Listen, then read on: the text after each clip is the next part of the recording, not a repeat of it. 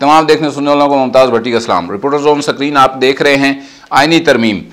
گتھی الجھی نہیں الجھائی گئی ہے، کہانی سادہ نہیں، پیچیدہ ہے۔ اور اس کے پیچھے چھپا ہوا کردار کون سا ہے جس نے یہ ساری گیم کھیلی ہے؟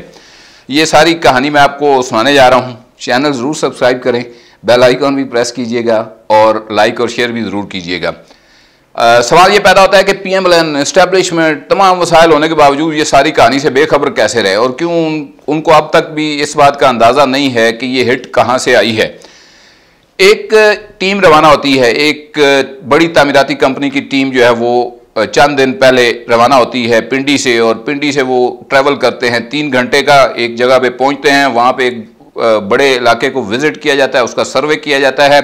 اور جو ان کو ماڈل سامنے رکھنے کو کہا جاتا ہے وہ ہے جی ایک عمران خان کے بنی گالا کے گھر کا دوسرا بلاول ہاؤس لاہور اور تیسرا شریفوں کا جاتی عمرہ۔ یہ گھر جو ماڈل کے طور پہ ان کو سامنے رکھنے کو کہا جاتا ہے، وہ ایک ایریا وزٹ کرتے ہیں۔ وسیع و وریز علاقہ ہے۔ اسلام آباد سے تین گھنٹے کی مسافت کے اوپر اور یہ وہاں پہ جا کے سارا کر کے سروے شروے واپس آ جاتے ہیں۔ اور یہ اس وقت ہوتا ہے جب آصف علی زرداری اور مولانا فضل الرحمان کی ملاقات ہوتی ہے۔ اب یہ جو کمپنی ہے، کس کے کہنے کے اوپر اس نے موو کیا؟ اس کا کردار کیا ہے؟ عمران خان کے ساتھ اس کا رابطہ کیا ہے؟ آصف علی زرداری صاحب کے ساتھ ان کا ناتا رشتہ کیا ہے؟ یہ حمزے کے چاچا بھی ہوتے ہیں۔ جی مطلب تینوں طرف ان کا رابطہ ہے۔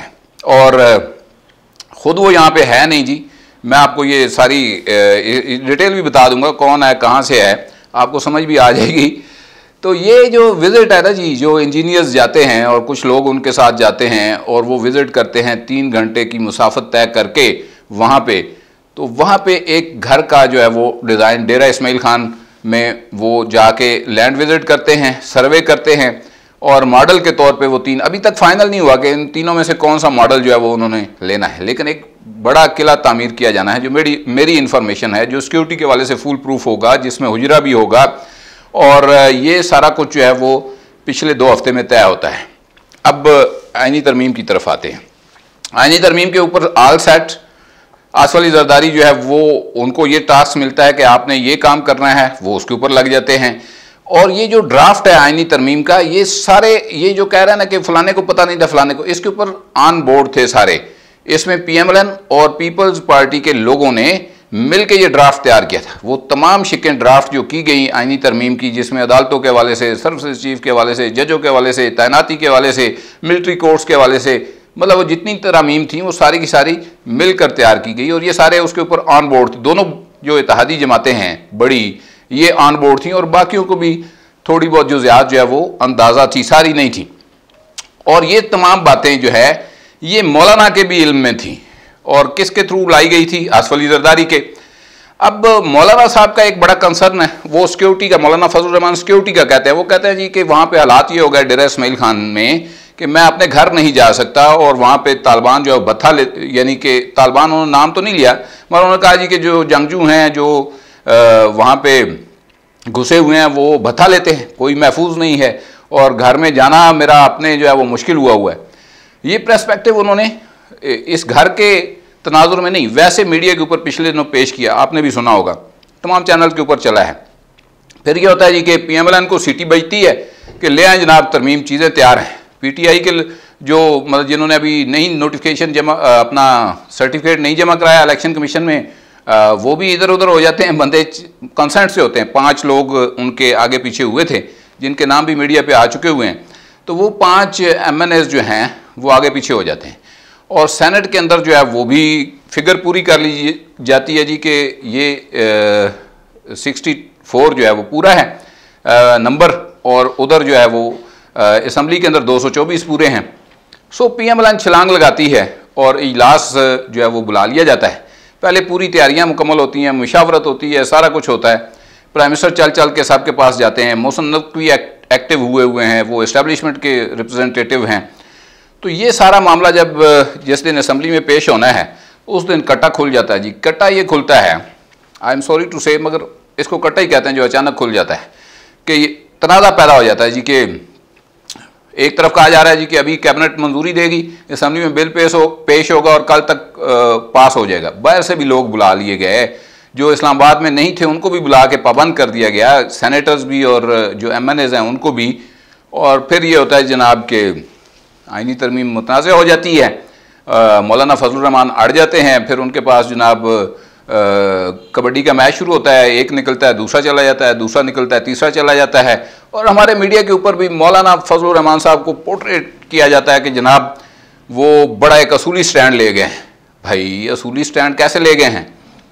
کہ جناب اڑ گئے ہیں جی ملٹری کورٹس کے اوپر ان کو اعتراض ہے ججوں کی ملازمت کے یہ جو عمر کی بلائی حد بڑھنی ہے، اس کے اوپر ان کو اعتراض ہے ایکسٹینشنز کے اوپر ان کو اعتراض ہے، تو یہ نہیں ہو سکتی۔ اب پی ٹی آئی بھی ان کے بڑے اچانک کلوز ہو جاتی ہے۔ پہلے سے مراسم تھے، اسد کیسر کے تھرو یہ بحال ہوئے تھے اور ایک دو اور لوگ تھے۔ ان کا بھی ڈیرا اسماعیل خان سے تعلق ہے پی ٹی آئی کے لیڈر کا، تو وہ کرتے کرتے جو ہے نا مگر اتنا کسی کو اندازہ نہیں تھا کہ پی ٹی آئی کی اور مولانا کی محبت جو ہے وہ اس قدر جاگ گئی ہوئی ہے۔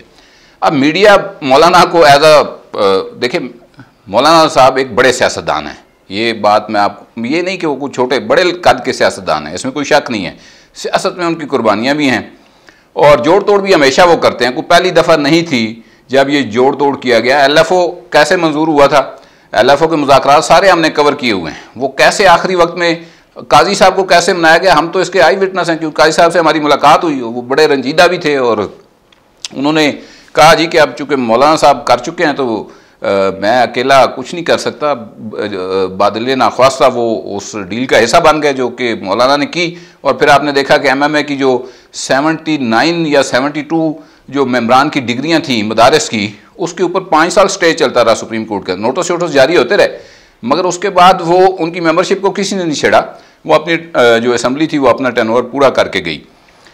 تو یہ پولیٹیکل ڈیلنگ ویلنگ مولانا سے بہتر کوئی نہیں جاتا۔ مولانا فضل الرحمان کا سیاست میں اپنا ایک مقام ہے۔ میں اس کو انڈرمائن کرنے کی کوشش نہیں کر رہا۔ میں آپ کو جسٹ سمجھانے کی کوشش کر رہا ہوں کہ بیک گراؤنڈ میں کیا چل رہا تھا۔ اور میں حیران ہوں کہ ہماری اسٹیبلشمنٹ اس سے لائلم کیسے رہی۔ مجھے اس بات پہ بھی حیرانگی ہے کہ پی ایم ایل این ظاہری بات ہے، حکومتی جماعت ہے آئی بی آئی ایس آئی بہت سارے ادارے ان کو رپورٹ کر رہے تھے اسپیشل برانچ وہ بھی لائلم رہے، ان کو یہ پہلے سے اندازہ نہیں ہو سکا۔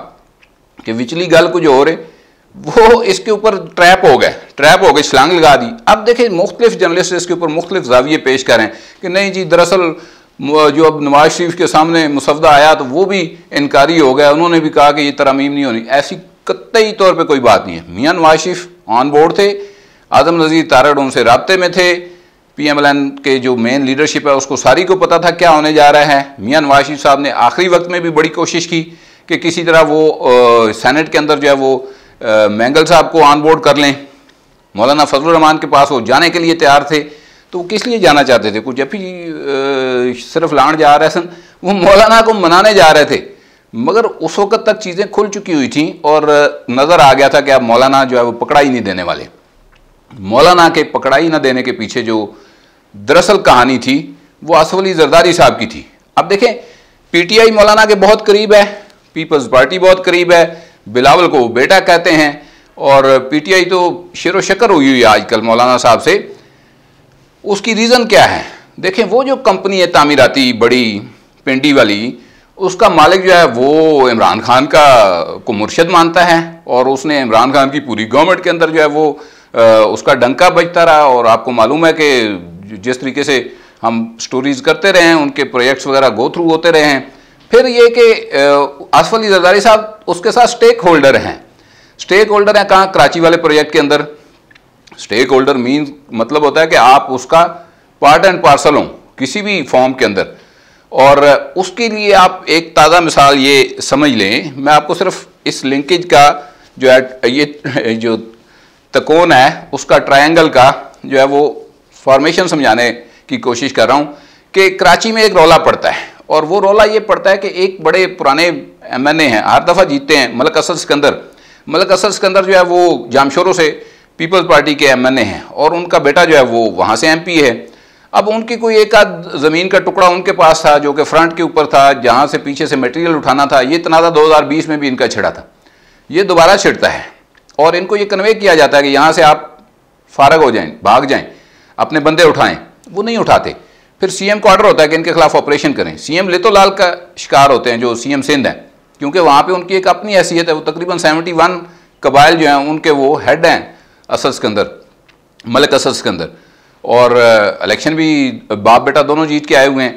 تو ان کو یہ، وہ اس کے اوپر ریلیکٹنٹ ہوتے ہیں۔ پھر ان کو میسج کرنے ہوتا ہے کہ اگر آپ نے نہیں کیا آپریشن تو ہمیں نیا سی ایم لانا پڑے گا۔ پھر وہ آپریشن ہوتا ہے، وہ جگہ واگزار کرائی جاتی ہے۔ ملک اسد اسکندر کی ناراضگی جو ہے، وہ مول لی جاتی ہے۔ پیپلز پارٹی کی طرف سے۔ اتنا گہرا نیکسز ہے۔ آصف علی زرداری صاحب کا، ملک ریاض صاحب کے ساتھ وہاں پہ، کراچی میں، اس پروجیکٹ کے اوپر۔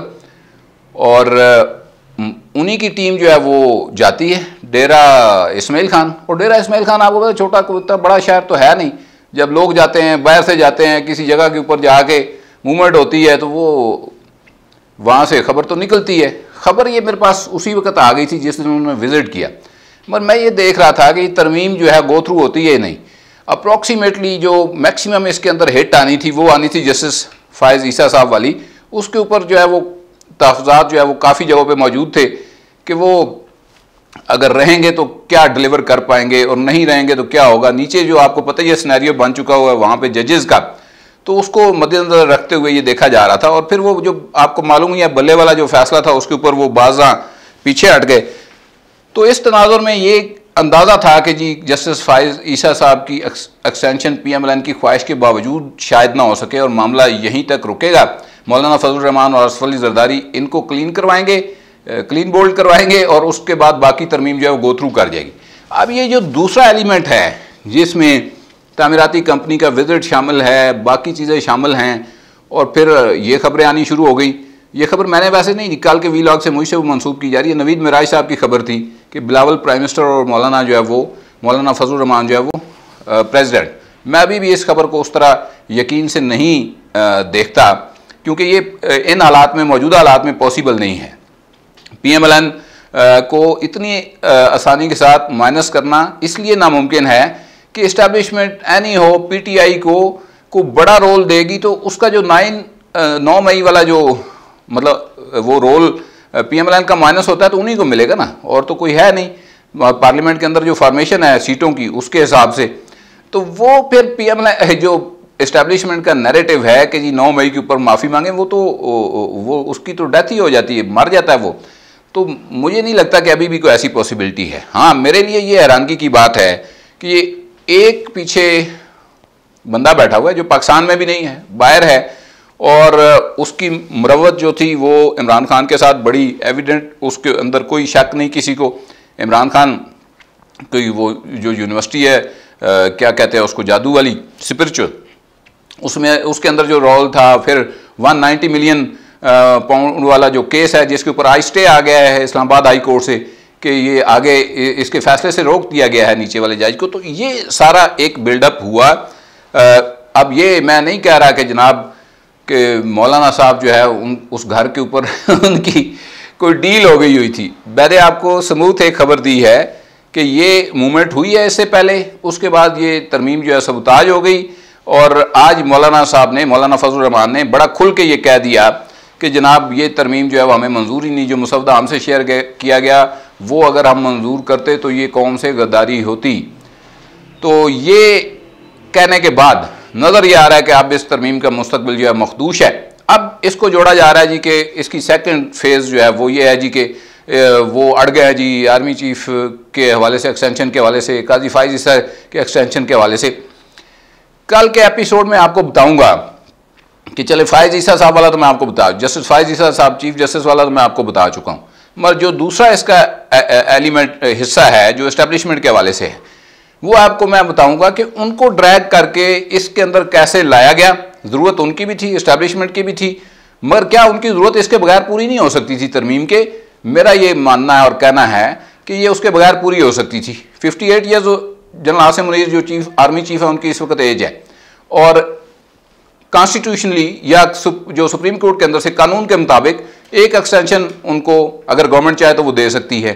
جو باجوہ والے کیس کے اندر پریسیڈنٹ سیٹ ہو چکا ہوا ہے۔ تو ایک سال ان کا رہتا ہے ففٹی نائن ہو گیا ففٹی نائن کے بعد تین سال اور ڈال لیں، کتنے ہو گئے؟ اگر ایکسٹینشن ہوتی ہے میں اگین یہ ہائپوتھیٹیکل کوشچن ہے، مگر اس کے اوپر جو ہے وہ تین سال اور ایڈ کریں سکسٹی ٹو ہو جاتی ہے۔ تو یہ ان کے لیے تو ضروری نہیں تھی، پھر ان کو بیچ میں کیوں لایا گیا؟ کیا گورنمنٹ مار کھا گئی؟ اتنی بڑی سازش کو سمجھ نہیں سکی۔ یا اسٹیبلشمنٹ کے جو عناصر تھے، وہ اس کو ساری گیم کو نہیں سمجھ سکے۔ اور پھر وہ یہ کیوں نہیں ڈیکوڈ کر سکے کہ بھئی ان عمران خان، آصف علی زرداری اور وہ جو ٹیم وہاں پہ ڈیرا اسمیل خان گئی ہے، وہ تو آصف علی زرداری کے حکم پر گئی ہے۔ تو وہ جو لنکیج تھا مسنگ جو باہر سے ہے، اس کو ڈی کوڈ جو ہے، وہ کیوں نہیں کر سکے؟ وہ ایلیمنٹس جو اس سارے معاملے کو دیکھ رہے تھے۔ بندے تو تھی پوری کر رہے ہو بھائی۔ تو آپ اس کو ڈی کوڈ بھی کریں نا جی کہ چل کیا رہا ہے۔ میں دو ٹکے دا صافی۔ اور یہ میں آپ کو بتا رہا ہوں، یہ انفارمیشن میرے پاس بیس دن پہلے سے ہے۔ اور میں نے اس کو اس لیے، میں نے بتا کے آپ لوگوں کو، اپنے ناظرین کو یہ سٹاپ کی ہوئی تھی کہ آئی ترمیم کا فیصلہ ہو جائے، اس کے بعد یہ سٹوری دے دیں گے۔ تو یہ دراصل وہ سٹوری تھی جس میں کچھ دو اور جزیات ہیں۔ مگر آج کے لیے اتنا ہی۔ چینل آپ نے ضرور سبسکرائب کرنا ہے، آپ سے درخواست یہ ہے اور بیل آئیکن بھی پریس کرنا ہے۔